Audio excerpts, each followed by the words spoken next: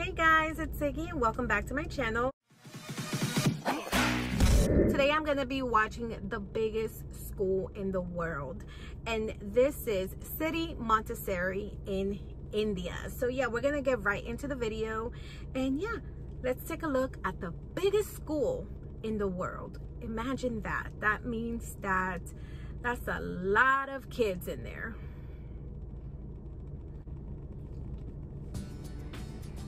The first Whoa. day in class is a daunting prospect. So imagine being one of, of the 47,000 pupils on the register of the world's biggest school. City Montessori in Lucknow, India is so My large goodness. that no venue is big enough to hold an entire school assembly. Uh.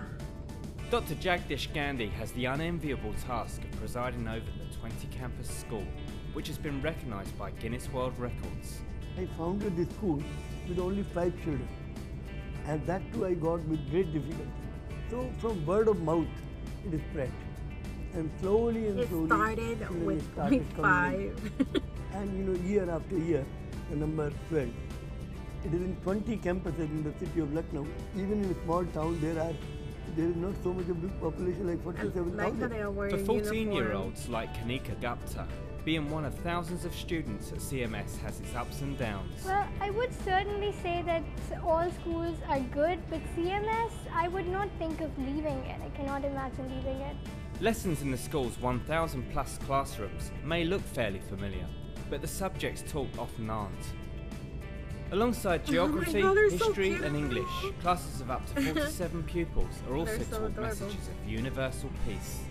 Miss Archana Mishra is one of 2,500 wow. teachers charged with sharing this unique message with students. I've been a part of CMS for uh, last six years. Teaching is not so easy nowadays because we are dealing with the generation which is hi-fi, mm -hmm.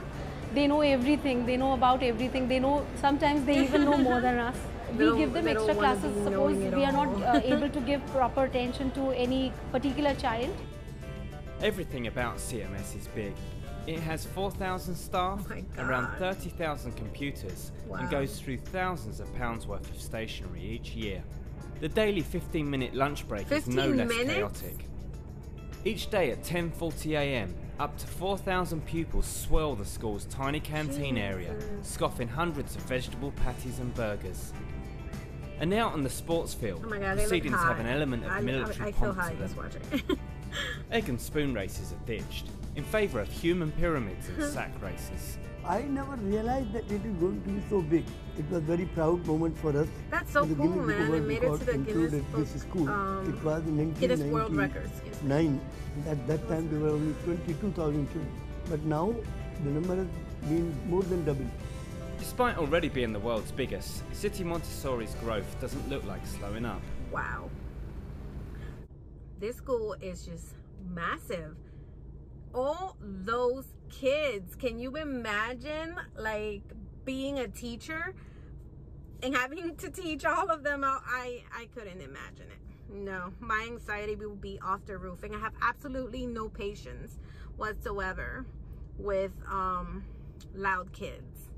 We definitely have to give all the teachers a huge shout out and like big hugs and kisses because I am telling you to have to be a teacher in today's society, especially with kids that think they know it all, because that's the truth. I mean, we live in a world today where every kid is like some kind of like IT major. I mean, they know more than we know. I mean, seriously, my nieces and nephews are like Mr. Know-it-alls. But yeah, if I had to do something in school, I had to pull out an encyclopedia and do my research paper. I couldn't just go on the computer and then, you know, Google it and there are the answers. And I think that's probably like a lot of teachers in the world have to go through is trying to do that whole entire debate back and forth with the students because most of them kind of feel like they know it all anyways guys comment below let me know a little bit more about the school. Is it a public school? Like anybody can go or do you have to pay to go to that school?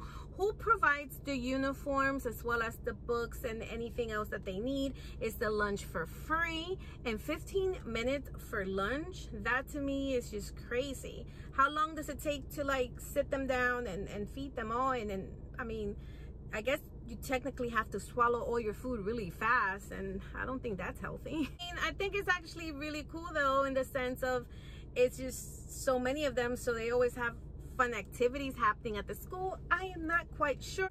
And yeah guys, I'm gonna get going but I will be seeing you on my next video. Bye.